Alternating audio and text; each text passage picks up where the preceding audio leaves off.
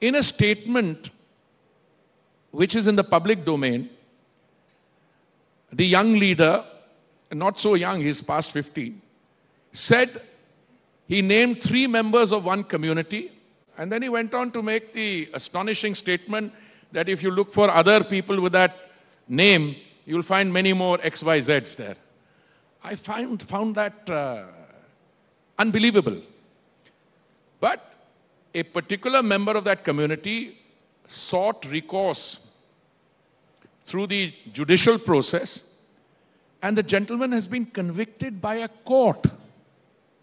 So the recourse to that lies through appealing to that and getting a stay. It is a very simple uh, solution. You can turn around, you could have said before the uh, presiding uh, judge that I'm sorry, um, I didn't mean it, etc. But instead, what you are witnessing is um, uh, black uh, attired fashion shows. Uh, you are witnessing um, other fine uh, forms of melodramatics.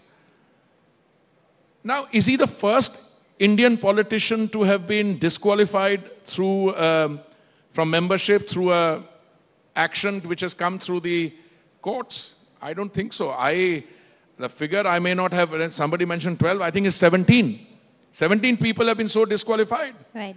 Now, the executive, the judiciary, the legislature, these are all important segments in a democracy.